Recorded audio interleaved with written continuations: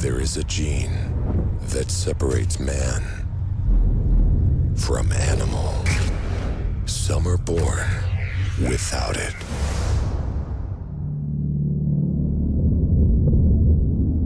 For thousands of years, There are some things in this world so frightening that we pretend they don't exist.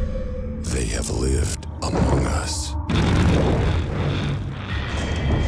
We call ourselves skinwalkers. Feeding on our flesh. They're addicted to blood. It's like drugs to an addict. Once you feed, you can't go back. For some, it is a curse. You've been living like this your whole life? We want the curse to end. They don't. Where's the child? They're dying for some kid they've never even seen. They have faith. Why do they want me? Because you're the only one who has the power to end the curse forever. For others, it is power. I am not human. We're better than that. Now, on the rise of the Red Moon, Something's gonna happen, something they can't allow.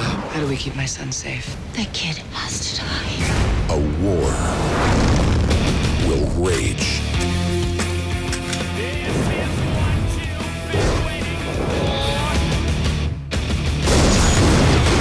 For control We need to move, yeah.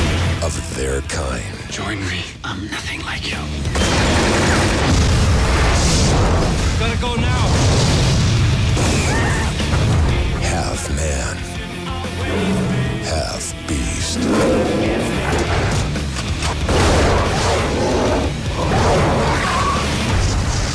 Skinwalkers. Baby, you have no idea what you're missing.